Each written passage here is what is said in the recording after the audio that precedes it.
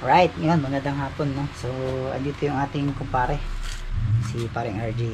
Pakabit natin itong, uh, uh, tawag dito, luxury crankcase na kulay red dito sa Black Raven, no? So,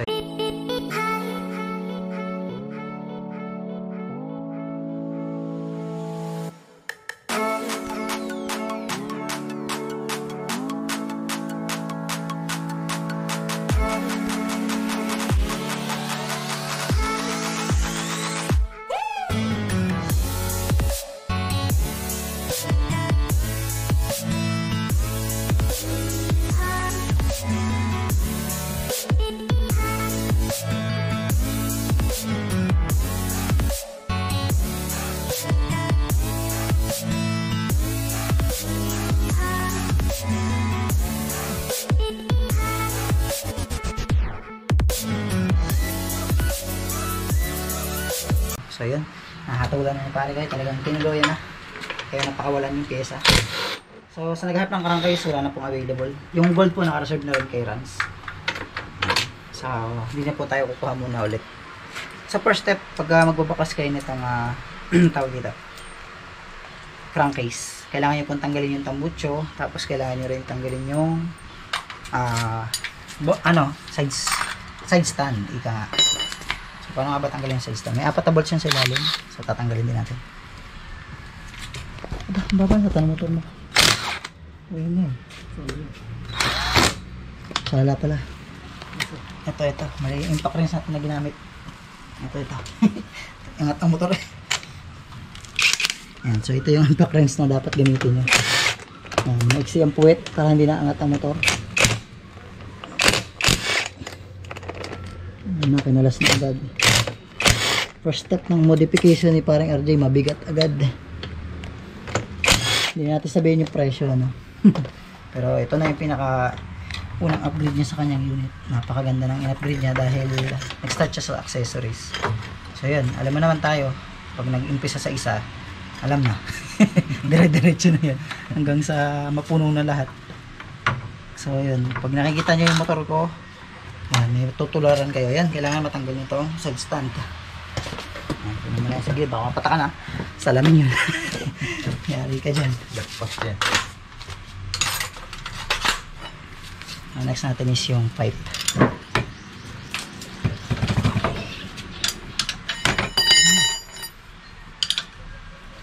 Malambot lang to. Okay. Kailangan tanggalin niyo yung pipe para maluwan ang pagkakabit ng crankcase. Okay. Ayan, tanggalin natin agad siya. Gusto na mabaklas eh. Basta alam niyo yung pagbabaklas. May ilang ako dito eh. Saan? Ah, oo. May tapakan. Ya mo. Going to shifter ka rin naman eh. Alam ko naman ikaw eh. Hindi ka rin makakatiis dyan eh. Ito, tambot yung to. Pansamantala lang to. Ilang weeks lang eh. Wala na rin to.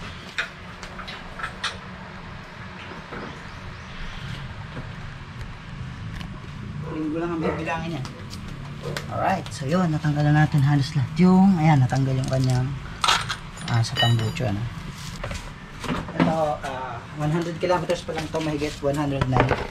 So ngayon, ah, papalitan na natin siya agad ng crankcase. Tapos, filter. Kasi, sa kasa, pinapa-under-under lang to. Tagal to sa stackan. Under lang yan ang under doon.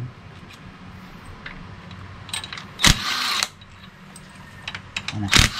Lahat kayo ng 8 para laklasin to mga boy. Ayan na.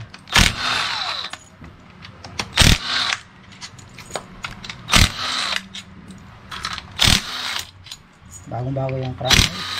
Fresh na fresh. 109 kilometers. Bina-up na agad. So wala namang cost dito kahit baka nyo to. Kasi ito naman ay cover lamang. Walang connection yan halos sa makina. Ano.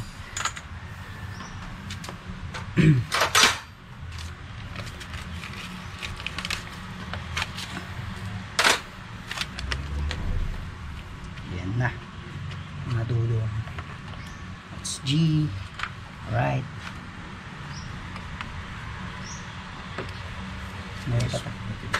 Papasaway pang isang 5. Kailangan natin ito baka magasgas pa.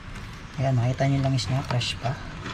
Pero matagal na yan, nakalagay sa motor. Kasi sa, sa garahe, sa Yamaha, eh, pinapandar-andar lang yan.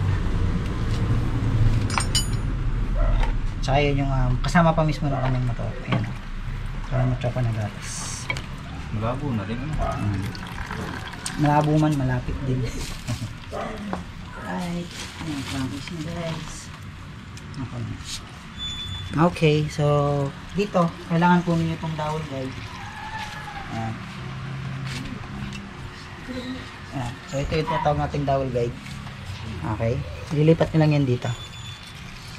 Okay.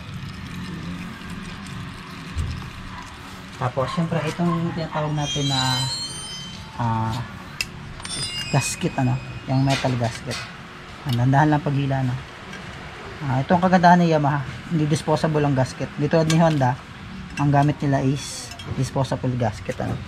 So, yun yung tinatawag nating paper gasket. So, ililipat nyo lang natin ito dito. Ayan, transfer nyo lang yan guys. Kasi kailangan natin yan. Ah, pwedeng mag-leak kapag, you know. Check natin yung clutch housing nito. Ayan ah. Siyempre bago yung unit, walang kakalog-kalog. Okay? Then, uy, ayan, filter, dumami na. Alright, so, tawag dito. Ah, wala kasi itong kasamang ano, o-ring, no? Ay, oil seal. Kailangan lagyan natin oil seal. So, ito yung ano natin, ah, crankcase. Lalagyan natin siya ng oil seal. Lagyan natin ng konting langis lang. Ayan. Tapos, babalik na natin to. Okay? So, yan yun. So, kapag ganito yung pagkakalagay, ano? Kasi ganyan yung original position ng stock. So, ganito din natin ilalagay itong after uh, kabit natin. So, genuine yung ginamit ko. Ayan. Medyo matigas. Ano tayo na pandulak.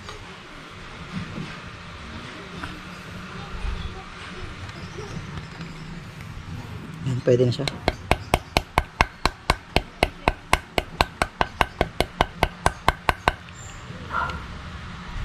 Okay, yun. Tama-tama lang yan.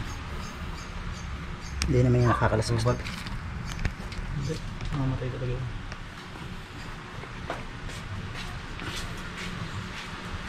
Okay, so yan. Na-install na natin yung pinakang oil seal. Siyempre, papalitan natin ang mga tornilyo yan. Tayo muna sa tornilyo. Ito yung mga tornilyo niya. Okay, so dito na tayo sa box.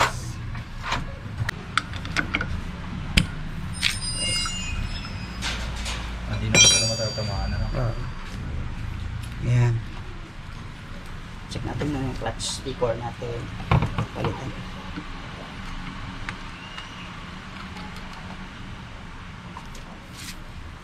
Medyo lumayo ng konti pero okay lang. Ah, tama lang. Kaya natin kita niyan. Disco. Ah, wala. So, pag nakuha nyo na yung tamang adjustment ng clutch, pwede nyo nang hapitan to.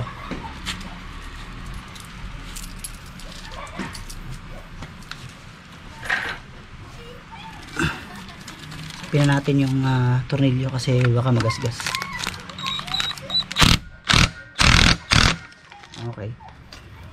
Try natin ulit. Okay. Ito lang.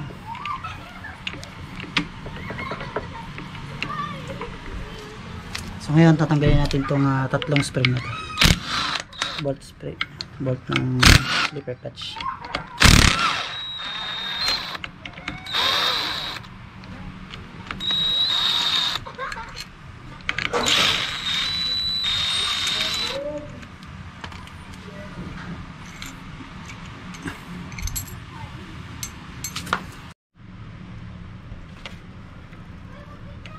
Yan, palitan natin ng ah, may washer na makulay para magandang tignan. Yun pa rin yung bolts. Bali nagkaroon na ng washer na maporma.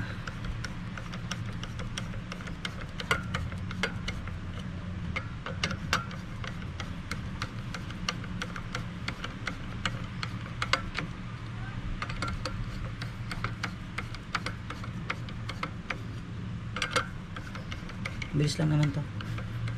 Pagkakabit nito ay ayos, no? Pwede nilagay yung crankcase. Sa laya ipalit mo. Maganda yung sa laya. Maliit kasi yun. Kita mo ganito na yun, no? maliliit. Hmm. Eh, maganda naman dito. Ano to? Original. Original na bolts. Nagkaroon lang ng washer. Ayan, nabaon dyan. Pipress sa gitna. Pag walang washer. Hindi makakalas yun.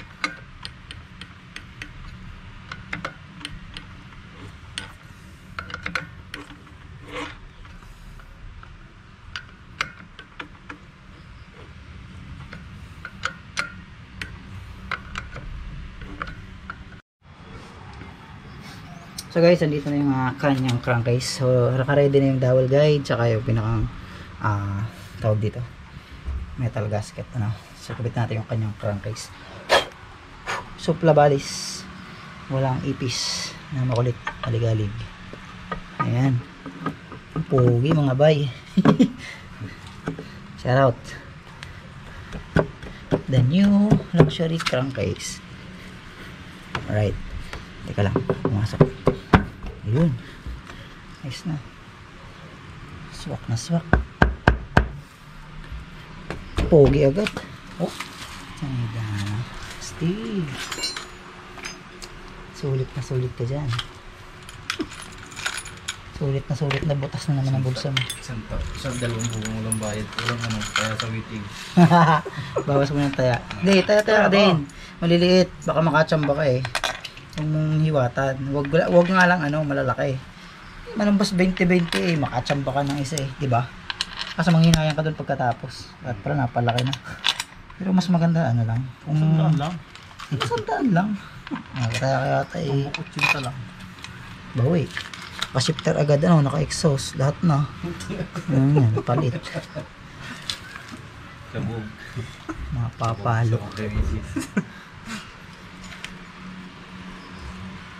papalo. Sa pag uwi.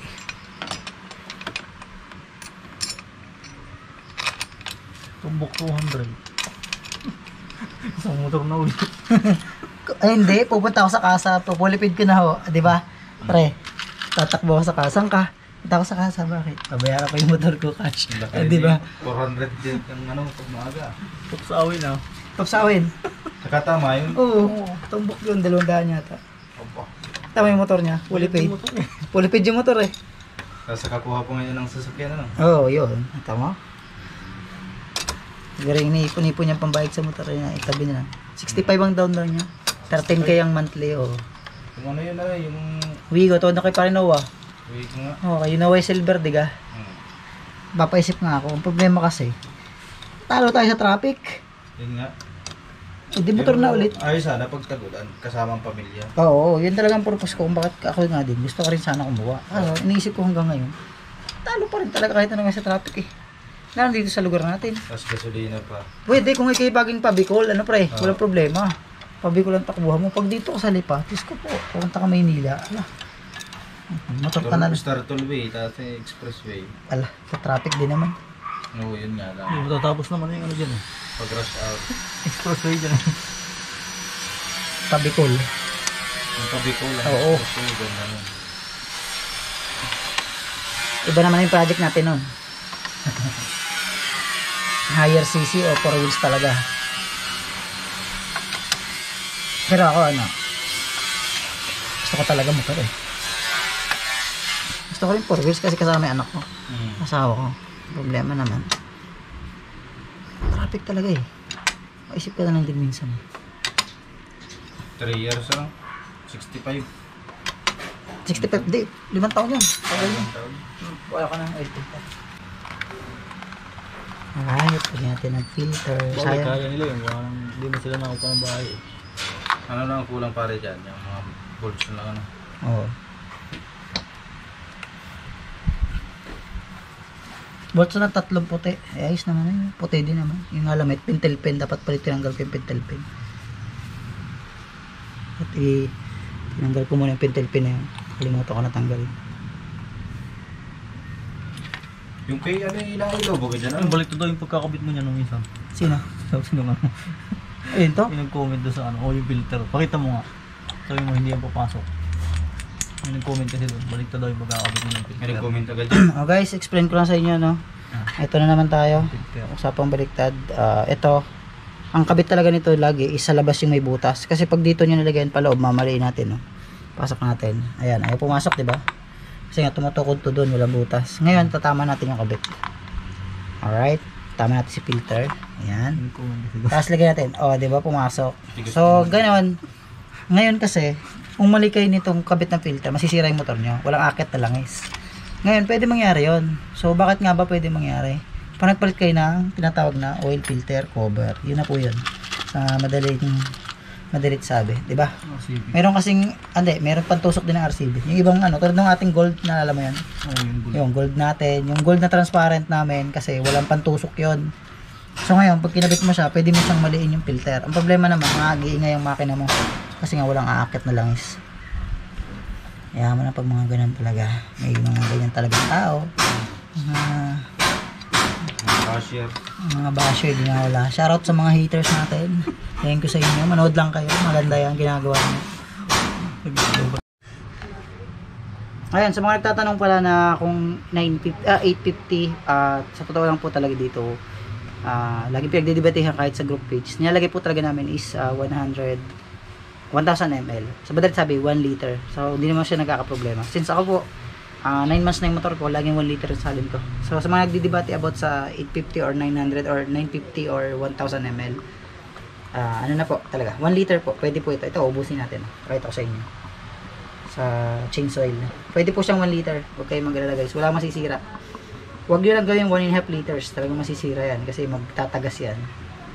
So kung makakita po kayo ng langis sa airbox, normal po yun. Dahil yung airbox ay nagkaka meron talagang kunting langis para yung gabok ay hindi na umahon.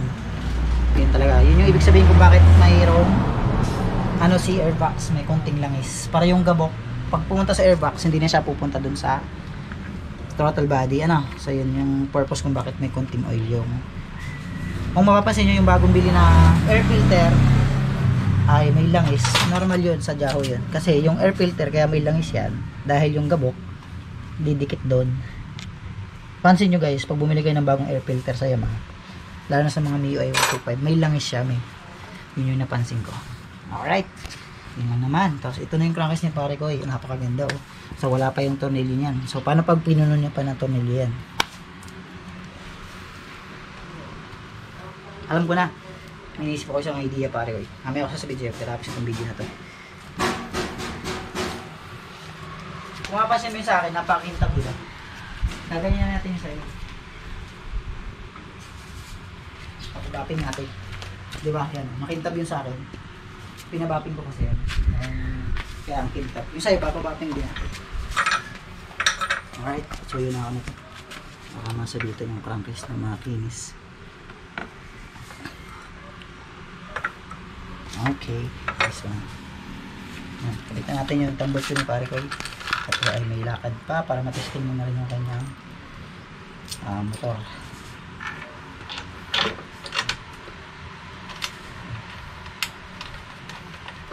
Yan, may langis na yan. Ready na din. Ganda na yung ano ito. Ha? Ganda. Makapal na. Mm-mm. Makapal na sa iba. Nipis na sa iba.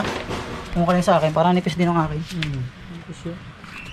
Yan, huwag niyong kalimutan to guys. Ito yung tinatawag natin na copper gasket. Ano? Yan. Para yan sa tambucho, hindi nagsisingaw. Huwag niyong kalimutan ikabit yan. Kasi pag nakalimutan niyo ikabit yan, sisingaw na yung tambucho niyo. Ngayon naman kung nahihulog siya, at uh, naiinis na kayo, lagi nahulog na nahulog, yung pinakang gasket na yan, Ah, ang gawin nyo guys, ay kumuha kayo ng pandikit, triband. Yan. So, kaya naman natin i-handle.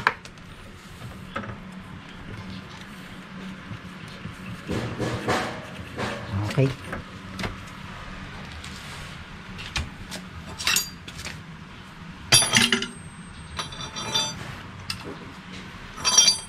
Ano pre, malapit sa katotohanan.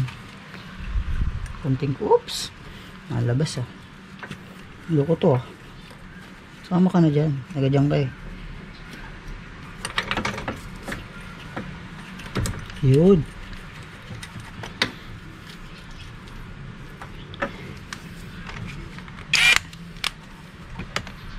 Nakita natin.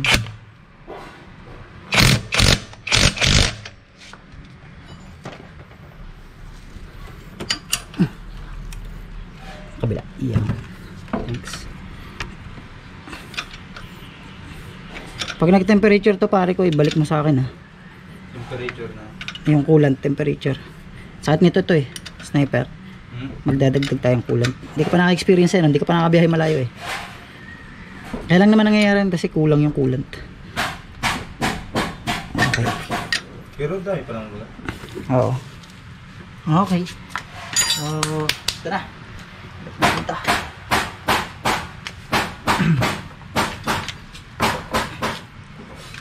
Yan na. Naku po. Hirap ito ikabit ah. Teka. Higa ko muna. Walang kagatan ng kamay. Mas mahirap nga yun. Okay. Ito mahirap. May salamin na. Siyempre, pag kayo magpapashifter, eh, huwag nakalimutan na dito na rin kumuha. Dahil baka hindi ingatan na magkakabit. Madali pa rin yung prangkase. Yan. Ingat talaga ang paglalagay mo rin. Maraming bubog yan eh. Okay. Game. Natin Hindi pang pala fiber yan. ah. Ay, fiberglass yan makapal. Ha? Fiberglass na makapal. Gagas-gas nga lang. Magagasgas. Pag di marunong magkakabit, baka hindi maingatan eh. Whew. Yan, masakit pa naman ang presyo. Sira na yung nagbabayad pa. Mahirap yun. Okay.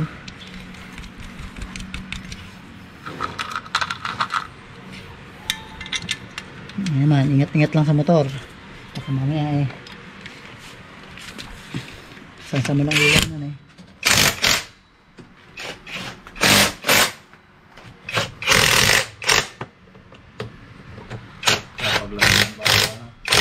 Makapaglawa yan. Oo, saktong-sakto oh. Okay, let's go. Ko pa rin nakikip yung ano. Dos, yung hulog na tornilyo.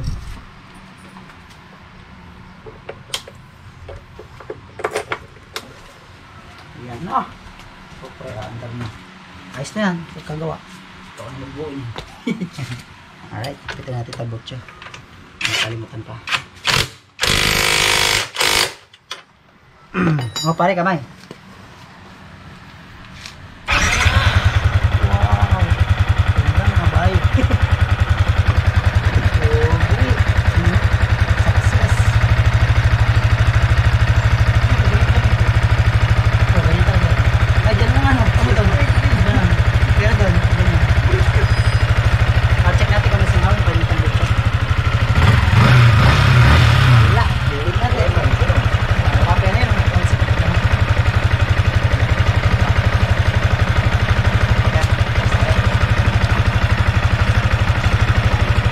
Ano mo napansin yun? Balik ka ito sa camera. Tigas yata ng gulong yung masyado. no? Matagtag na. Nanginan mo ba? Hindi. Dasya pa yung hangin yun eh. Tao na.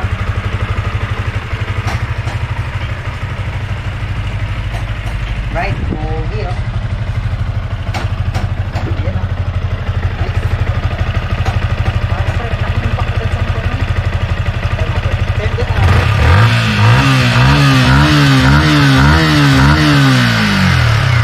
Ay, ito, pre. Ang buhay ng inis niya. Minsan malabo yan. Yan. Ganda na. Okay. Sa akin na. Pinakamahal na sa akin. Rare eh. Ano pre? Kahit sino naman eh, makakit talaga. Tanong si pare Arjen minsan eh, pwede ba yun sa motor ko? Sabi pwede. Ako 50 Okay guys, ah, tapos na yung installation natin ng ating crankcase no. So ito na yung pinakahuling crankcase natin na meron tayo dito sa amin. So meron man pala na isa kaso naka-reserve na din kulay gold. Ito na yung pinaka-last na release natin ngayon. Tapos yung isa naka-reserve na. Yun, maraming maraming maraming maraming salamat kay pare ko. Hindi natin banggitin yung pangalan. Sa kanya to napunta. So napakaswerte din kasi pinaka-last stock natin sa Pilipinas na ganito. Nasa kanya na. Balita ko kasi kay paring Ma- Maki King ay medyo maglalaylo na rin siya sa pag-release gawa ng ah, ano nga, medyo lalabas na yata si RCB ano. So si RCB maganda rin naman siya. Pero basta, di na natin sabihin kung ano yung maganda at saka pangit dun sa mga pyesa. Okay? Kasi dito talaga at saka dun, may, may talagang mag, may pagkakaiba. Siyempre, una, brand. Ito naman kasi yung tinatawag natin luxury brand na crankcase mo. So, hindi natin masisisi na, na sobrang mahal nito. Dahil yung bubog nito, talaga is, talagang kitang-kita nyo yung buong clutch housing compared dun sa RCB na maliit yung salamin. Yun lang naman pagkakaiba nila. So, pares naman sila matibay. So, guys, sa mga ating ano dyan, maraming maraming salamat. 10,000 subscriber, yun, maraming sa inyong lahat. So, wala pa tayong ano, giveaway kasi sobrang busy pa natin. At saka, short pa tayo sa budget. Medyo kukunti rin yung nagpapagawa. So, yun, ito na yung mga motor namin, no? Maraming salamat, shoutout sa lahat ng mga nanonood palagi. Hindi ko na kayo isa-isa, maraming maraming salamat sa inyo. Ayan, God bless po, ingat po tayo palagi. Good. Alright. Ito yung motor natin. Battleship Grey at Black Raven. Huwag mo ipuput mo nga. Save the picture. Sabi ni Missy, baka kung pumunta pa pumunta. Pinupas ko nga ng agad ang buksan mo. Oh. Mas maganda yung sa'yo, pero ba't ganun? Oo nga, mas maganda ang bubog nito. Ma ma mas mapula. Ba't ganun? Maganda yung taxi rin.